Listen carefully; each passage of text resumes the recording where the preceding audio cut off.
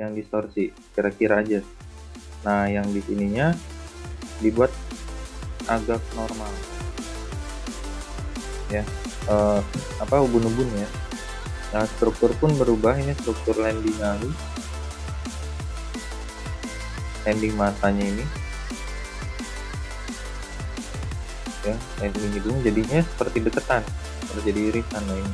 Nah kalau yang ini tinggal ngikutin aja.